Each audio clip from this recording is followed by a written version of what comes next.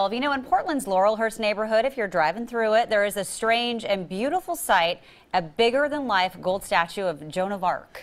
But a lot of people would want to know what does Joan of Arc have to do with Portland? Well, how that statue got there is a big part of where we live. In the middle of this traffic circle on Northeast Cesar Chavez and Glisan, a gold St. Joan of Arc, the teenage warrior who led the French army to a defeat of the British in the Hundred Years' War of the early 1400s. Well, I, I think it's a good idea, but I have no idea why it's here. An exact replica of the Joan of Arc statue in Paris. It was given to Portland in 1924 by prominent physician Henry Waldo Coe. Coe was a world traveler who settled in Portland.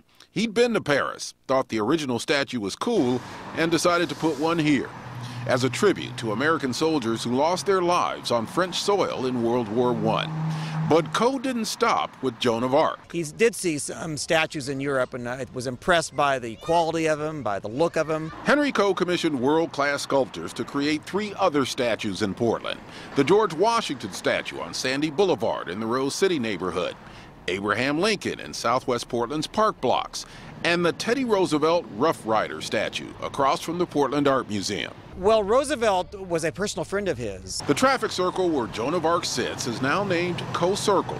Henry Waldo Coe's Golden Maid of Orleans riding to victory for all time. Well, these works of art are pretty expensive, and they were even in the early 1900s. Dr. Coe paid $40,000 for the Teddy Roosevelt statue. Wow. If you translated that to today's dollars, that would be about half a million dollars today. Yeah. So that uh, story was basically for you, Jenny. I knew that you were going to Paris, Paris. and came back. So anytime that you miss Paris, just go to Coe Circle and stand in front of Joan yeah. of Arc and mm -hmm. just pretend you're still in Paris. Yeah, we did go to uh, Versailles, and there were a lot of statues like that. The gold. I mean, they're very into gold there. Yeah. Everything's yeah. very ornate and, and beautiful. yeah, that looks that does look very Parisian right there. nice job. That's very interesting.